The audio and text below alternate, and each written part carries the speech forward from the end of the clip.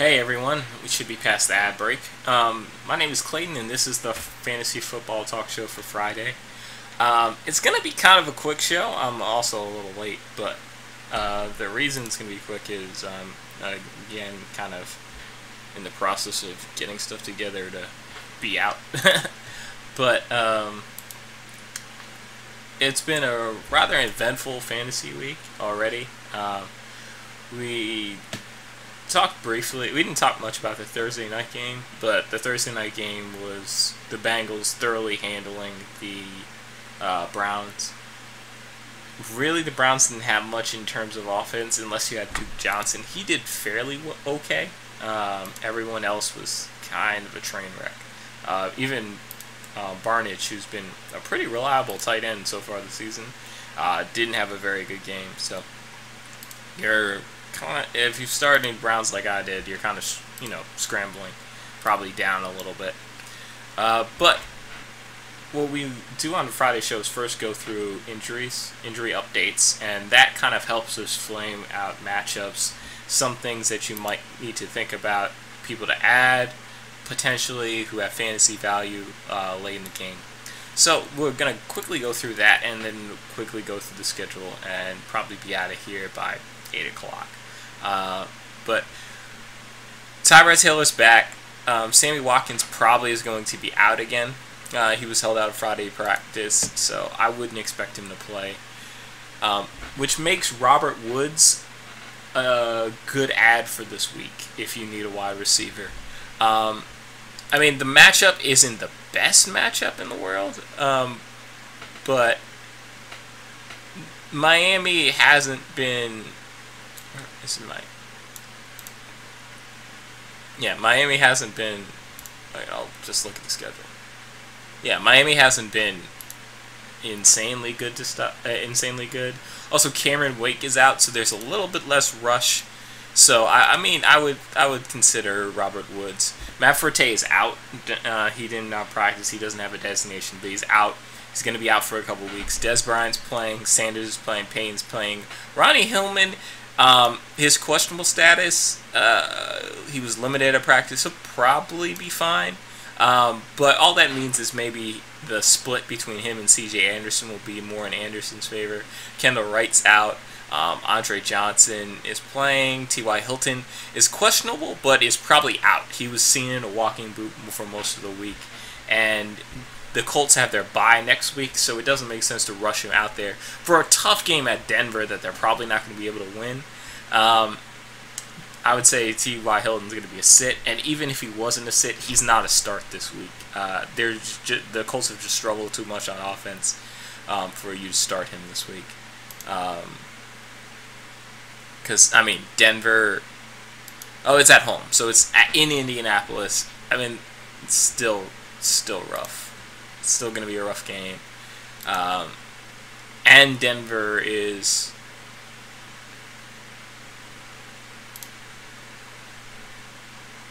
Yeah, and Denver came over that off of that big win win in, at home against Green Bay. So I would just avoid avoid your Colts.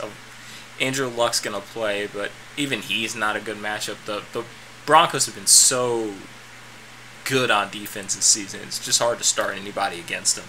They're like the Seahawks a couple of years, you know, for the previous couple of years. It's just not a team you want to start anybody against. Uh, Diggs is good to go. Edelman's good to go. Dion Lewis is good to go. Snead. Cruz is out, but that's not a big news. Donnell's out. We pretty much knew that after he injured his neck in the last game.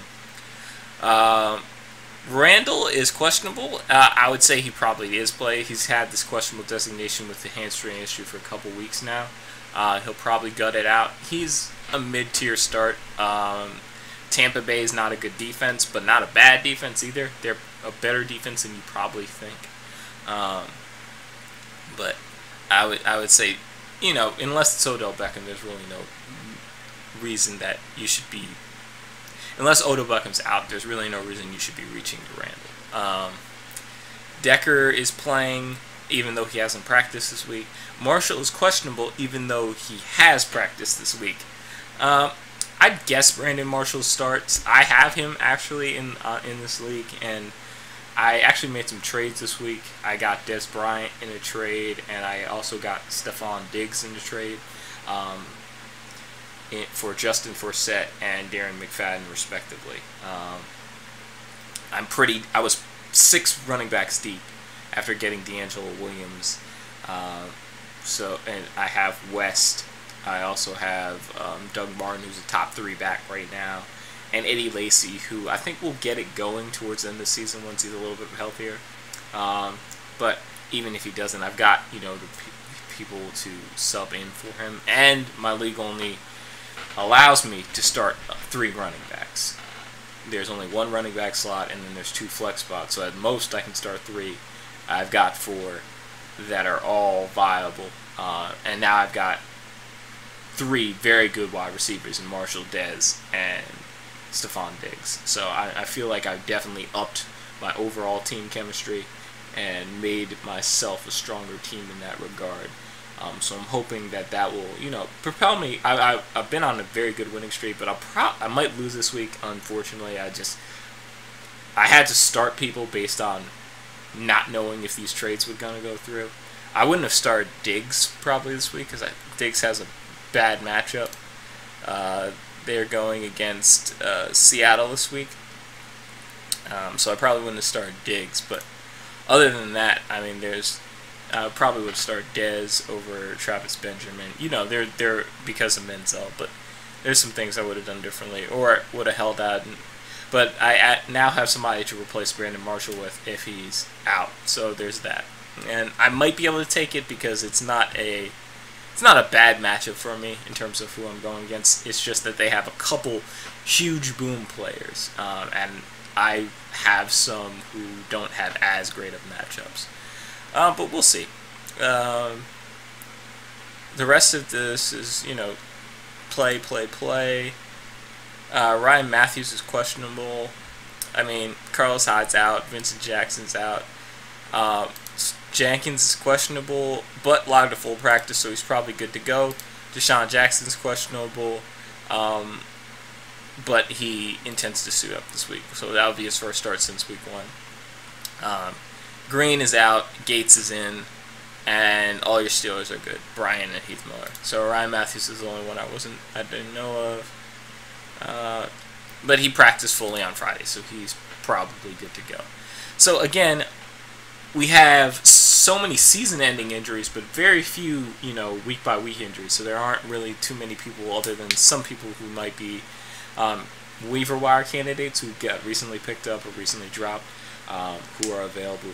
Um, but yeah, that kind of goes through the injury report, and really, there's not much to talk about there. Um, I'm gonna go through one thing though, uh, and it doesn't really necessarily have to do with injuries, but because of injuries, what happened is I ended up with uh, Charcandrick West, Darren McFadden, Justin Forsett, Eddie Lacy I drafted, DeAngelo Williams I picked up, Oh, I also drafted Justin Forsett and Doug Martin. So of those backs, I've traded away McFadden and Forsett, who I viewed as the two weakest of my six. um, the reason I traded these two away, Forsett is mainly because they're without Steve Smith, they don't have a, the deep ball threat. Um, I mean, there's they've got they've got Aiken, but they don't have you know wide receiver who really scares a defense. And Forsett's had good games, like against Pittsburgh and Cleveland. But against, you know, even decent opponents like San Diego, this is the game Steve Smith went out. That's his stat line. Against good teams like Arizona, that's his stat line. I mean, the touchdown really saved the day. Uh, so when you're looking at having games against Seattle, Kansas City, um, Miami, who's got a good front, Saint uh, St. Louis. I mean, he's got a couple good games like Jacksonville, I mean, you could, Cleveland's a good game, as we saw. um, Pittsburgh at the end of the season, but he, he just doesn't have you know the great matchups that are there. Um, so uh, I just I, I, I Darren McFadden I think is actually the stronger of the two, and to me Darren McFadden has got the Jets in the playoffs. He's got Green Bay. He's got Buffalo. I mean his playoff matchups are not good. Um, and then you have Washington, who's a tough matchup, Carolina, who's a tough matchup. And all these games are going to be when Romo and Dez are back. So there's actually going to be, he's not going to be getting 30 carries a game like he has been, you know, recently. And this is what he did with, uh, you know, a 24 carry load, you know, a decent game, but nothing to write home about. 64 rushing yards. It really came on these back out of the backfield yards, which I think are going to dry up once Dez is fully healthy and Tony Romo is there because I don't think you're going to be checking down to Darren McFadden all that much. Also, you have the injury risk that McFadden poses. McFadden is already, right now, in the 120 carry range for the season. He hasn't broken two. He broke 200 carries last season, but before that, it had been four or five seasons, uh, going back to his second year in the league, that he broke 200 carries. He's just not durable. Um, and as good as the Dallas line is, that's what you're betting on with McFadden. You're betting on the resiliency of the Dallas line. McFadden, I, I, I know you're not supposed to play, a, or not supposed to view a player through the spectrum of him getting injured. But McFadden's injury history is so great that when I compare him to a Dez Bryant or a Stefon Diggs, um, two impact players, um, I've got to go with the upside of them rather than the upside of McFadden. Plus of my weakness at the wide receiver position. That now that I have, now my wide receiver position went from a position of weakness to strength. Because now I have Marshall, Dez Bryant, and Stefon Diggs. Those are really, really great. I, I love Stefon Diggs. I love that he's the number one. I love Dez, mainly because Romo's coming back in a couple weeks. And even still, he'll be heavily targeted by Cassel until Romo comes back. And Romo only adds to his value. So those are both stretch run plays. Um, Diggs has two amazing matchups in the playoffs, like this the semifinal and final game, if I get there and that is against um, I want to say it's Tampa Bay and the Giants. I'm, i know it's the Giants as his last game, but uh, who's the other game? Chicago. I'm sorry, Chicago. Even better, uh, Chicago and the Giants. So he's got you know Seattle and Arizona, which are tough matchups. Probably wouldn't play him in the Arizona Thursday nighter, but um, definitely against Atlanta, definitely against Green Bay, against Oakland.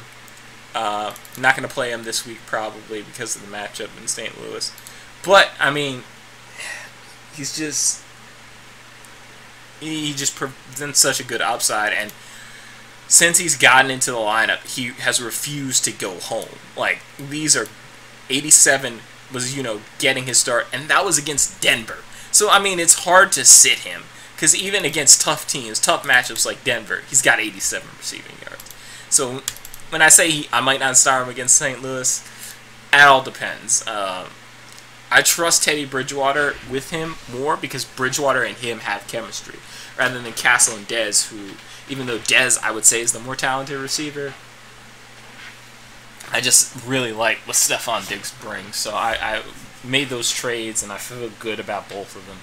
Uh, I was surprised I was able to make both of them for so little. Uh, I've been trying to ship Forsett out for you know practically the entire season, um, and I've just had no bites. And I've been you know I, I was packaging him with other players, packaging with two team deals, um, like uh, Forsett and winning for one wide receiver, but I just wasn't getting anything. But now, um, because everybody's so running back depleted, I was able to get him, and I, I, feel like I'm in a really good position going down the stretch run. Um, even if I do lose this week, I feel like going forward, I got. I think I can finish eight and five, which would be good enough for the playoffs. Um, and at worst, seven and six, which still probably gets me in.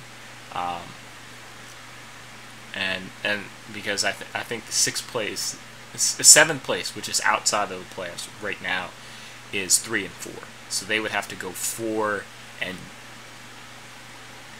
four and one. Yeah, they would have to go four and one to get to eight and five. Um, and I think there's if we I can look at the league real quick. Yeah, we have a bunch of three and five teams though. So one of these teams, I've beaten them. I'm playing them this week. I've beaten them. I lost to them. So uh, the out of the three and five teams, I have a better record than. Well, I have I have head-to-head wins over one, two. I have a head-to-head win over the four and four. So I have head-to-head wins over two. I have a loss to this one, and if I lose this week, I'll have a loss here. Um, but still, at, even if I lose this week, I'll stay in the fifth place position. But I think I can get up um, with my with the last one, two, three.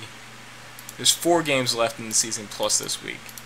So I'm trying to go three and two in my last four games, um, because in the last five games, because of uh, even if this wins five out of the last five games, one of these teams would have to win to to knock me out of the where I am. One of these teams would have to win all five, and I go three and two, um, and then I might still own the head-to-head. So I feel really, really good in my position with five weeks left, including this week. Five weeks left. I need to win three games to guarantee playoffs. Two games may get me in, depending on matchups, um, but I think I can get three. I think I can get three. So um, we're looking good, and and that all could change, but we're looking good. Um, so before we go, I'm just gonna quickly breeze through the schedule like I often do. Uh, Dolphins Bills interesting game to me just because I want to see how the Bills offense uh, defense rebounds and what Tyrod Taylor can do now that he's been off the injury bug. I still have him on a couple of teams uh, as my backup quarterback, and I really like him. He provides a lot of spark. Even when he doesn't have a good passing day, he'll do stuff with his legs to get you the fantasy points that you need. Um, Green Bay Panthers, that's a matchup uh, that's going to be pretty interesting. I don't think there's much fantasy value there um, because the Panthers defense is so good. Um, and that's really where you would start. I mean, Cam versus Green Bay is another interesting matchup, but I think the Packers, the way they play defense, the linebackers that they have, don't give Cam the running lanes that he would really need to have a huge fantasy day. So again, I think it's a low, it's a good game, but not a, a low level fantasy game. The Jets Jaguars, however, if the Jets players are healthy enough, they could, you know, get a lot of points there. The Jaguars, I just don't see them doing much against the Jets' vaunted defense. Um, Vikings, Rams, again, Rams have a very good defense, but the Vikings have Adrian Peterson, so you know, you know that. And Stefon Diggs is healthy enough to go this game. So I'm probably gonna actually, if, if I had to choose a one o'clock, um, that wasn't the Giants. Oh no, the Giants play at four. Uh, I would probably pick the Rams Vikings game just because I want to see that matchup. I think the Patriots smashed the Redskins. Uh, the Redskins secondary is just not very good. Um, so the Patriots have, you know, that going for them. It's probably a LeGarrette Blunt game, though, um, just because of how the Redskins line up, um, rather than a Dion Lewis out of the back. Oh, it could be a Dion Lewis out of the backfield game because I could see this one getting out of hand. Saints Titans, I got to give the edge to the Saints, especially after the, how they played to the Giants. I think Drew Brees um, is probably not going to regress much. Um, only thing is Mariota might be back, so or I think he is back. Mariota will be back, so you've got that. Um, Titans might be able to control the ball a little bit better, maybe keep the score down. Uh, but really, it's going to be how does Brees follow up seven touchdowns? Um,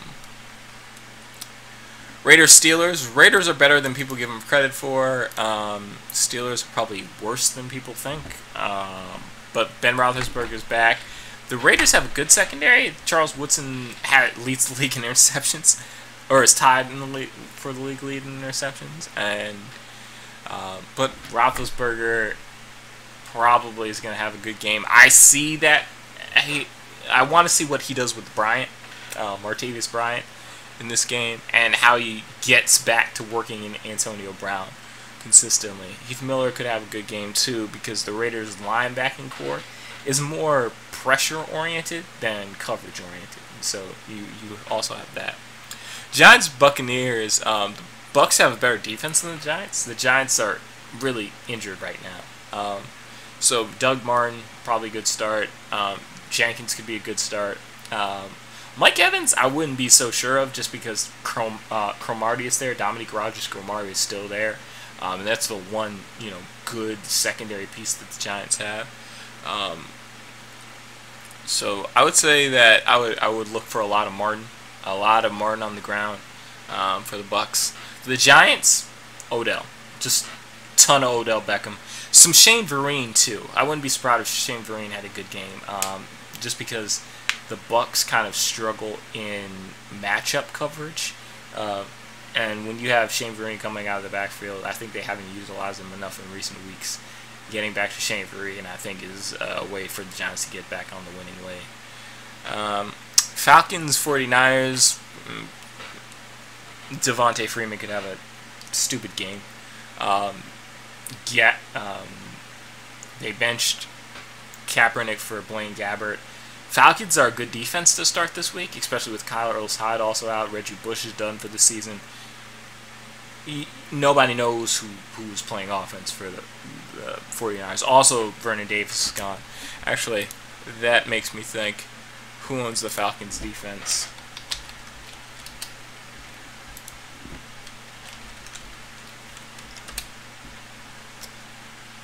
Yeah. Falcons defense. Uh, yeah, Falcons defense is going to have a good game this week. Good game this week. Um, what else do we have? Broncos Colts. Um, like I said, Broncos defense is very good. The Colts have been struggling on offense.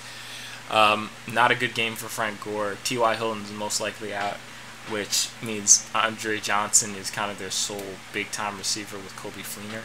Um, it's just hard, to see a good game for Andrew Luck in those circumstances. Um, so I, I mean, Broncos really got to see if Peyton can keep up the, the volume that he threw. Because um, he threw for 340 yards, even though he had a pick. And he threw for 340 yards, which is much more than he has been. Um, that's about 100 more yards than what he's been, what he been, what he had been averaging. So, I would definitely look at that and see if you, you know, if you have Broncos players, that might be the the turnaround point for Demaryius Thomas or Emmanuel Sanders, those kind of players. Um, also, I would say CJ CJ Anderson, just because of Ronnie Hillman's injury, probably gets more of the split and has another resurgent game. Uh, Cowboys Eagles. Uh, Eagles defense up front is very good, but the Cowboys front seven is probably the best in the league. Uh, or the, not front seven, front, their linemen, their offensive line is probably the best in the league. Um, so it's going to be interesting to see those two clash and see if Cassel provides anything to, you know, take the pressure off the running game. If he doesn't, I if he can't do anything like he hasn't been able to do recently, I really feel like the Eagles could um, really shut down McFadden because they have the linebacking corps to do it. Um, but that so I, I also don't really know. Um, Cassel really wasn't able to move the ball effectively against the uh, Seahawks. But then again, Richard Sherman played some of his best football. So, you know, the Eagles' secondary is more, much more porous. So, you've got to look at Dez potentially having an impact, but how healthy is he? That's the other thing. Uh, I think they're still limiting his snaps, and so I, I, I would be cautious there. Um, so that game just doesn't provide a lot for me, especially because I don't think DeMarco Murray or Ryan Mathews really gives you much. I mean, Eagles are slowly coming together, but I don't know. I don't know where the Eagles are. That's going to be a game to watch just for future implications. Bears, Chargers, Star Chargers, all the Chargers, all the Chargers except the defense because the defense is terrible. But um, Malcolm Floyd, big game um, Stevie Johnson replacing Keenan Allen. He'll be in that role in the slot, so big game. Um, Danny Woodhead, probably going to have a 10 point game at least. Um, so he's a flex play this week for you for sure. Um, I even like Inman, um, uh, who will take the who will be the third wide receiver in the three wide receiver sets now going forward for the rest of the season. Um, and he's had some decent games. So I mean, I think Philip Rose puts up 35 passes, and the Chargers do very very well. Um, and and the Bears, I think Alshon Jeffery could have a very good game. Cutler is very viable in this matchup. I mean, it's a matchup that we could see 35, you know, you know, 35, 31, something like that. It's it's not a low scoring game. Um, both of these defenses struggle. Um, the Giants game and the Buccaneers game could be the same way. Both of the defenses struggle. And if the Giants move the ball like they did against the Saints, that game could be another 45 point game, you know, 45, you know, 42 kind of thing. It's just there's a lot of points out there in the the Giants Bucks and the Bears Chargers matchup. So if you have players there, that's where you want to start them um, in the games where it's going to be crazy.